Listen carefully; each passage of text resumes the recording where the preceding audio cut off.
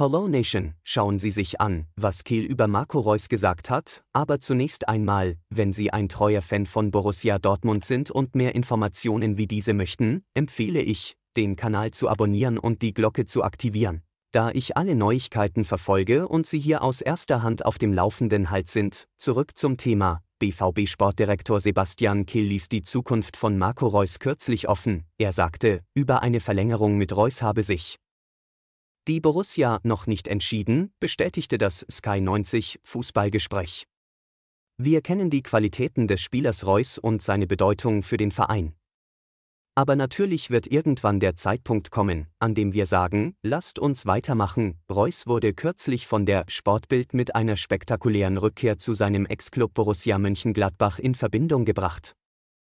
Damit Sie keine Informationen wie diese mehr Flecken hinterlassen, hinterlassen Sie ein Like auf dem Video, damit YouTube weiterhin Videos für Sie teilen kann, und vergessen Sie nicht, den Kanal zu abonnieren und die Glocke zu aktivieren, damit Sie keine Neuigkeiten von unserem Team bemerken. Und das ist eine Umrüstung und ein Abschied.